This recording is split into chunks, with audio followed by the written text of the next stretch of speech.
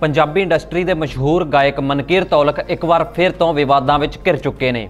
ਹਾਲ ਹੀ ਵਿੱਚ ਮਨਕੀਰ ਤੌਲਕ ਦਾ ਇੱਕ ਗਾਣਾ ਰਿਲੀਜ਼ ਹੋਇਆ ਜਿਸ ਦਾ ਨਾਮ ਸੀ ਰਫਲਾਂ ਤੇ ਇਸ ਗਾਣੇ ਦੇ ਵਿੱਚ ਵੀ ਪਹਿਲਾਂ ਵਾਂਗ ਹਥਿਆਰਾਂ ਦਾ ਜ਼ਿਕਰ ਕੀਤਾ ਗਿਆ। ਮਨਕੀਰ ਤੌਲਕ ਦੇ ਗੀਤ ਰਫਲਾਂ ਸੰਬੰਧੀ ਨੋਟਿਸ ਜਾਰੀ ਕੀਤਾ। ਇਸ ਤੋਂ ਬਾਅਦ ਬੀਤੇ ਦਿਨ ਮਨਕੀਰ ਤੌਲਕ ਦਾ ਵਕੀਲ ਜ਼ਿਲ੍ਹਾ ਅਦਾਲਤ ਵਿੱਚ ਪੇਸ਼ ਹੋਇਆ। ਵਕੀਲ ਨੇ ਦੱਸਿਆ ਕਿ ਔਲਖ ਇਸ ਸਮੇਂ ਕੈਨੇਡਾ ਵਿੱਚ ਹੈ। ਐਡਵੋਕੇਟ ਸੁਨੀਲ ਮੱਲਣ ਨੇ ਇਸ ਕੇਸ ਨੂੰ ਦਾਇਰ ਕੀਤਾ ਹੈ।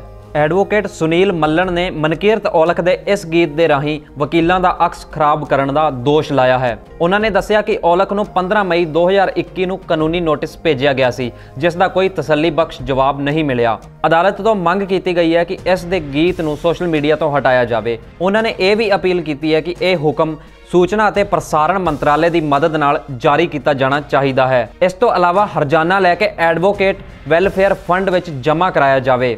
ਹਜੇ ਤੱਕ ਮਨਕੀਰ ਤੌਲਕ ਵੱਲੋਂ ਇਸ ਨੋਟਿਸ ਦਾ ਕੋਈ ਤਸੱਲੀਬਖਸ਼ ਜਵਾਬ ਨਹੀਂ ਆਇਆ ਹੈ ਅਤੇ ਦੇਖਣਾ ਇਹ ਹੋਵੇਗਾ ਕਿ ਅੱਗੇ ਮਨਕੀਰ ਤੌਲਕ ਇਸ ਦਾ ਜਵਾਬ ਦਿੰਦੇ ਹਨ ਜਾਂ ਨਹੀਂ।